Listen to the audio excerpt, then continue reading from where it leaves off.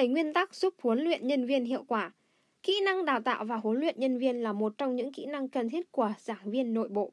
Ngoài việc giúp họ có thêm những kiến thức mới, kỹ năng này của họ còn giúp cho nhân viên phát triển bản thân hơn và làm việc ngày càng hiệu quả hơn.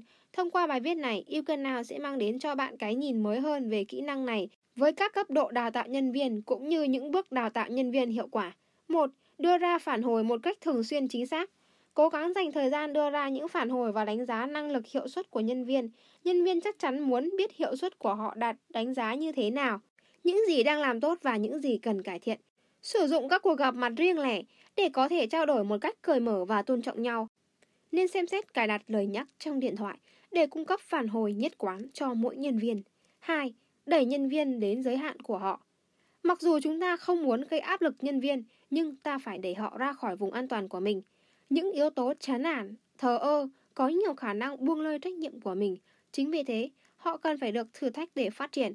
Xác định kinh nghiệm và khả năng của từng người để họ đảm nhận nhiệm vụ hoặc vai trò mới giúp bản thân phát triển. Hãy sẵn sàng giúp đỡ khi nhân viên có câu hỏi. 3. Luôn sẵn lòng trợ giúp nhân viên. Những người huấn luyện giỏi sẽ đưa nhân viên vào một kế hoạch và nói rằng hãy thực hiện đi. Họ tích cực khuyến khích và tìm kiếm các giải pháp để hỗ trợ nhân viên. Hãy cho nhân viên biết rằng họ có thể tìm đến bạn với câu hỏi hoặc mối quan tâm. Chúng ta hãy luôn sẵn lòng để giúp đỡ và họ sẽ cảm thấy thoải mái khi xin lời khuyên hoặc gợi ý. 4. Tuyệt đối không làm việc thay nhân viên. Khi bạn nhận thấy công việc của nhân viên chậm hoặc đi sai hướng, chúng ta thường bị cám dỗ để sán tay áo và nhiệm vụ của họ và chỉ cần tự mình hoàn thành. Tự mình thực hiện có thể mang lại lợi ích ngắn hạn, nhưng nhân viên cần phải học qua, thử và làm sai. Thay vì nhận nhiệm vụ khỏi tay nhân viên, chúng ta cần dạy họ cách xử lý tình huống bằng cách đưa ra hướng dẫn. 5. Coi thất bại là việc thường xuyên. Dĩ nhiên không phải việc nào cũng có thể đi theo kế hoạch. Những sai lầm sẽ xảy ra, đó là một phần của công việc.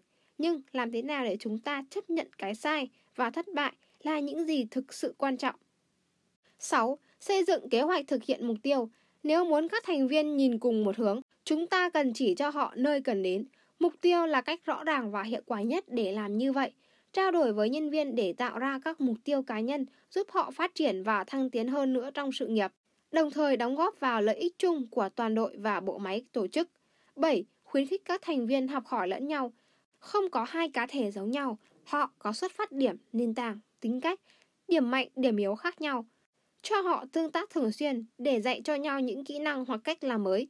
Chỉ cần kết nối với nhau, họ sẽ mở ra những khả năng mới và tạo ra một nơi làm việc thân thiện phát triển hơn.